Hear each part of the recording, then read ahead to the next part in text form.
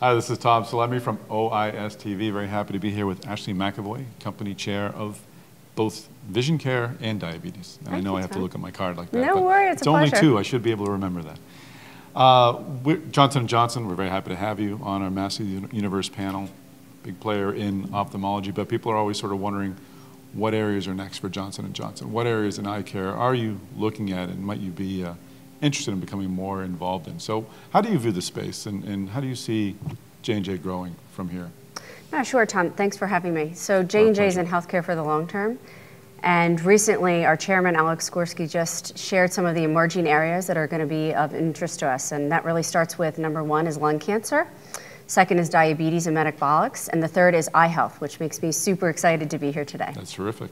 So within eye health, what areas do you see J&J becoming involved? You're in contact lenses deeply and importantly, but what other, uh, what other areas will we see you? So listen, we look to see what skill set we have. We've got a superb contact lens company, very strong in optical engineering and material science, and we also have an active program in cell therapy for back of the eye treatment of geographic atrophy. And the push for uh, consumer health is sort of taking over healthcare. Given your, your presence in the consumer world, how does that help you sort of navigate your path forward in ophthalmology?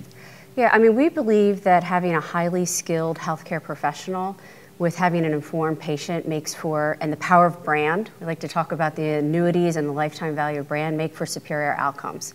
So we really tap into our pharmaceutical expertise and our device expertise and our consumer expertise to solve problems for patients. And that's a great point, going into that, that combination of those, those three skill sets you have, or those three areas. How do they complement each other, and how will they help you sort of build out a practice in, uh, in ophthalmology?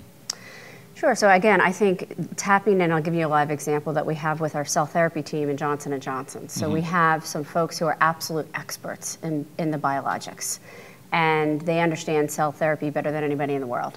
Um, but the disease, which is to treat geographic atrophy, warrants an injection into the back of the eye. Now that's a little complicated because that space is really tight, um, and there's very, very low error for mistakes. So we've accessed some of our medical device experts who really understand device mechanisms mm-hmm. and how to do device and drug delivery. And they're also masters at procedural development and how to get good standardization with surgeons for repeatable outcomes. And equally, we've leveraged our vision care experts who understand eye physiology and understand optics better than anybody, and really taken advantage of those three sources of expertise have really enabled us to go into phase 2B. We just had second patient in, and I look forward to sharing more.